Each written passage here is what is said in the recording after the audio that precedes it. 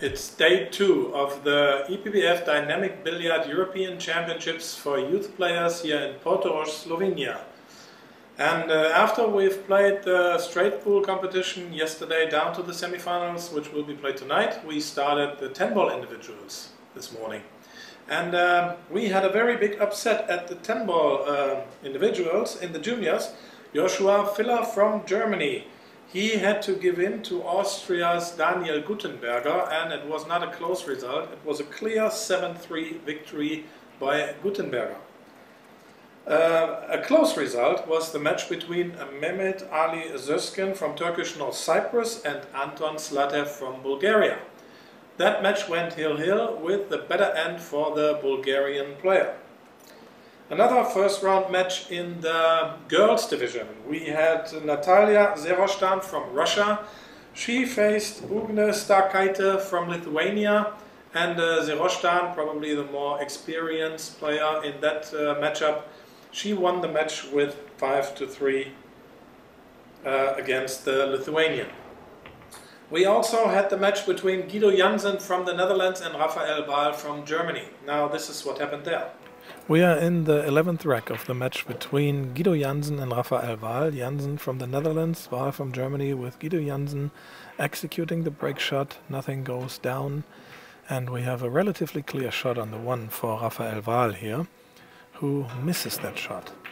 And uh, that make, turns the match or the uh, rack into a safety battle here, with Guido Jansen taking the initiative. He leaves a tough shot for Rafael Wahl. Who comes up with a good answer? He does not leave a clear shot for Guido Jansen. Um, Jansen, however, tries to play a resave, but he does leave too much of the one ball for Wahl. So Wahl can come up with a really good shot. And now that uh, turns a little bit the roles of the two.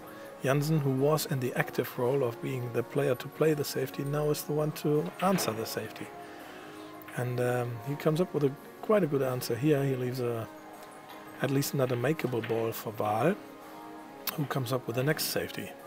And again, he puts the cue ball in the vicinity of a lot of object balls and forces Jansen to play a jump shot, which he first of all hits, but secondly, look at the cue ball. It's very close to the three, so it leaves a tough shot for Wahl, who decides to not go for the shot, but try to execute another safety. He does not really hide the cue ball behind the five and leaves a shot for Jansen, who surprisingly does not go for the one ball, but decides to play another safety. And look at that. He wanted to hide the cue ball behind the eight, didn't really get there. So he leaves a full ball for Wahl to come up with another safety shot, but now Wahl leaves a shot for Jansen, who pockets the one, but he cannot pocket the two ball, so he has to come up with another good safety here. And uh, he's hiding the cue ball behind the six ball here, and this is a very nasty position for Wahl. Wahl now has to execute a jump shot over two rails, try to hit the two ball, and he commits a foul there that gives ball in hand to Guido Jansen, who uses the opportunity to win the rack and the match with 7-4 over Rafael Wahl. So Jansen took the victory in that match and it takes him to the next round, to the next winner's round in the 10-ball competition, while, while, while Wahl has to take the detour over the loser's side. In the first round of the pupils, we had Jan Divis from the Czech Republic playing with Kailash Persat from the Netherlands. And in that match, Persat had the better nerves and he managed to take the victory with 6 to 4 over the player from the Czech Republic.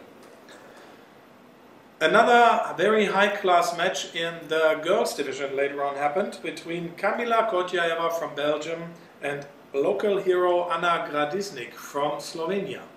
Now Anna is playing the um, girls division for a long time now, and she's also playing in the women. But the same is valid for Kamila Khodjaeva. So that match were promised to be a very close matchup. But to the contrary, it was a very clear affair. Kamila Khodjaeva did not leave a chance to her opponent from Slovenia and took the victory clearly with 5 to 2.